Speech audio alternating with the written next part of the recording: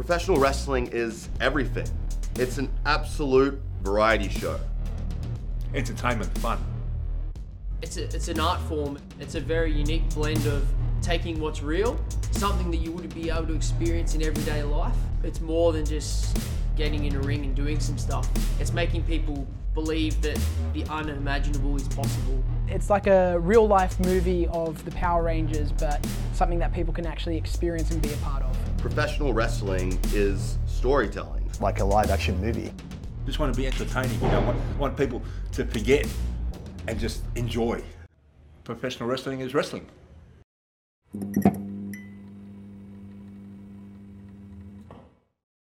My name is Big Fudge. I am a professional wrestler. I enjoy eating chocolate and going to the gym and punching people in the butt. I hail from the chocolate factory. Hello, sir. How can I help you? But in reality, underneath all of this, I'm just a normal, average guy. I study primary education at university. Um, I was a bartender for many years before I decided to quit last year, solely so I could pursue professional wrestling because I was finding it difficult dividing myself amongst all these different things with university and wrestling and work. So now I don't make as much money because the wrestling industry in this country is still growing.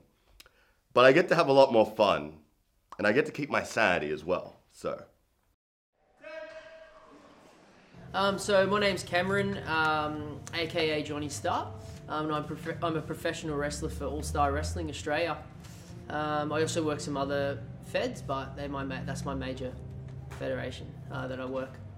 Um, I do have another job on the side. I'm actually a police officer. So I've been wrestling for about 20 years or more. I'm 36 now. I started when I was 16. Um, I took about a 10 year break off. I got injured um, when I was younger and I had to look at uh, other things in my life, like a career and job wise and stuff like that. Um, I recently only just got back into it in 2017. Uh, a good friend of mine brought me back in. I have often prioritized wrestling, and it's cost me a lot of different opportunities in my life. It's cost me a lot of different um, relationships and different things in my life. Ended relationships for pro wrestling. I dropped out of university originally for pro wrestling. I've quit jobs for pro wrestling. In the wrestling industry, you kind of feel obliged once you've taken a booking and committed to the show that you, you see that through. It's just time away from family. Come show day, you're here all day, here all night, um, packing up the ring, loading the ring, and then you wrestle. And then the next day you come home and you might be pretty banged up, pretty tired, and you haven't seen your family and they want to spend some time with you, and all you want to do is rest. Um, that's the hardest thing. It's all it's all weekend based, so the weekends you get free. Normally you want to spend with your family, but you, you're in love with this thing you do. Um, I probably have grown closer to a lot of my family, but also more distant at the same time. I see them way less, even though they only live 10, 15 minutes away from me.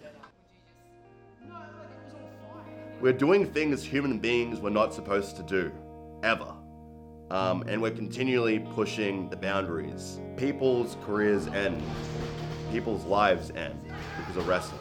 And sometimes when you get hurt, there's no coming back. You really never know when you walk into a match if you're going to have another match, to be honest. You never know how many bumps, how many falls you're going to take. I got slapped um, by my partner for losing the match, and it ruptured my eardrum. And to this day, it's still not 100%. I can't do certain activities.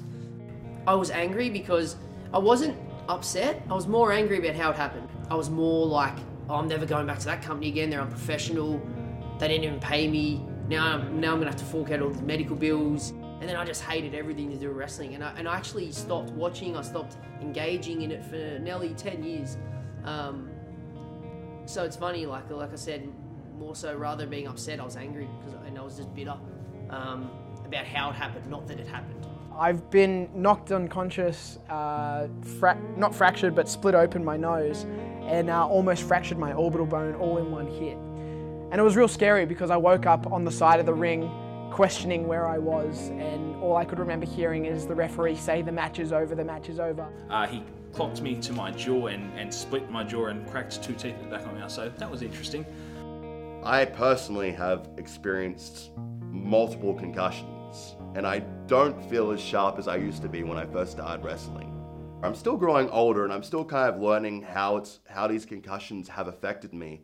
But I definitely feel like when I first entered professional wrestling, I felt a lot sharper. I felt a lot wittier, which is you know, would have been useful seeing how I'm a comedic wrestler I try to entertain people. But now sometimes I feel like I'm a little bit more forgetful. Um, sometimes I feel like it's a little bit more difficult for me to connect the dots in certain situations. Um, and especially it's at its worst if I've recently been concussed.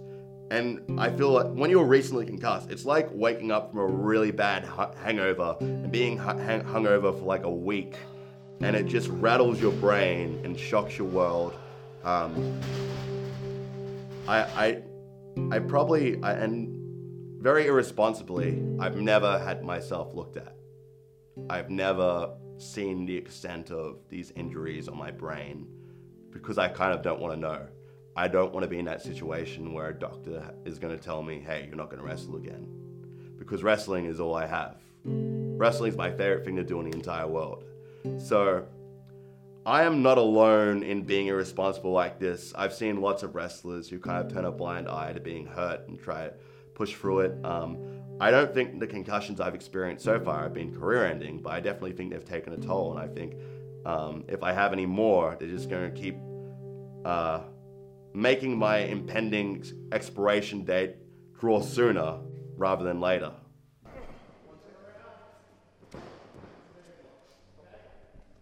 It's it just purely comes down to two words: love and passion. Um, I do this because I'm passionate, um, regardless of the time away from family and, and the money. And I don't even think of those things. Like I think, yeah, I think about stuff for my family because I, I love them so much. They're my life. But when I'm in the wrestling ring, it's a different. I can't explain it. It's like you're a different person and you're invincible or you're nothing else matters. And I, re- I really believe it's something that I can do well. Um, and I said I'm passionate. I love it, and I've loved it since I was six years old. Um, and the camaraderie you build as well is very important. You build a lot of good friendships uh, backstage with people. You meet all sorts of different people from different walks of life. So that's what it's about. It's just like a. It's almost you could almost say it's just a social hobby. You know, the, of a 36 year old man to dress in spandex and run around with other men in a wrestling ring. But I'm passionate and I, I just love it so much. I think people started to realize, hey, this is something that he's extremely passionate about and it's almost consuming him. My wife even tells me that at times. And she even jokingly says that she comes second and wrestling comes first.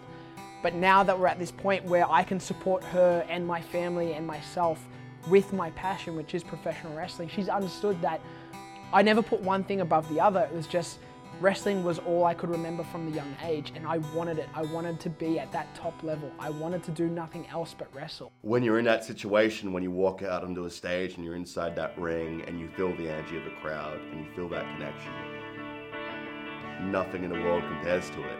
It's the most amazing feeling in the entire world. I wouldn't trade it for.